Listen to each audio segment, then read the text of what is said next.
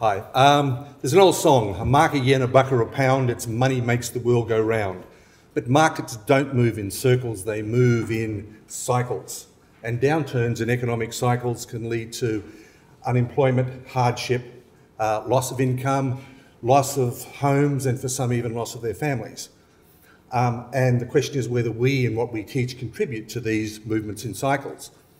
Well, for 60 years, we've taught that dividends don't matter. The dividends that companies pay don't add value.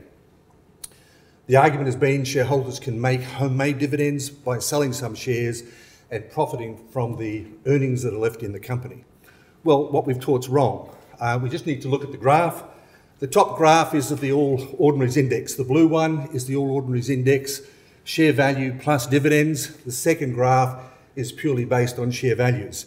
It's interesting to note when you look at the second graph, we are the only one of the few countries in the world that haven't gone back to our pre GFC levels in terms of our markets.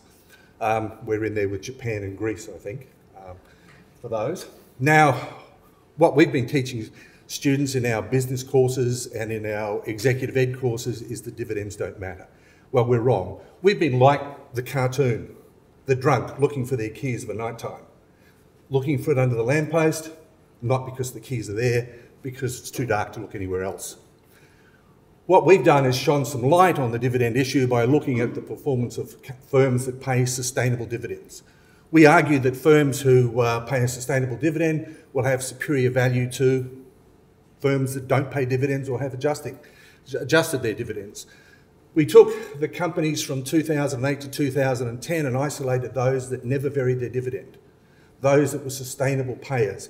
Formed three portfolios those that sustained their dividends, those that never paid dividends, and those that reduced their dividends.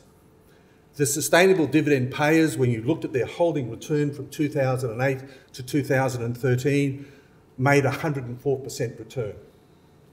The firms that didn't pay a dividend made a 23% minus a negative 23% return, and the firms that varied their dividends made a minus 45% return.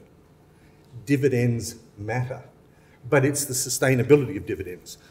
And when we look at the graph, we can see that the value of dividends has gone up significantly in recent years. Companies are rushing in to follow the trend that firms that pay dividends get a higher value. As a consequence of that, we now have a dividend bubble. And I mentioned that it was likely to burst in the uh, semi-finals for this competition, we are now seeing significant downturns in markets, and those firms that don't pay sustainable dividends will be hurt significantly. So this is important to investors, but it's also important to the economy. Thank you.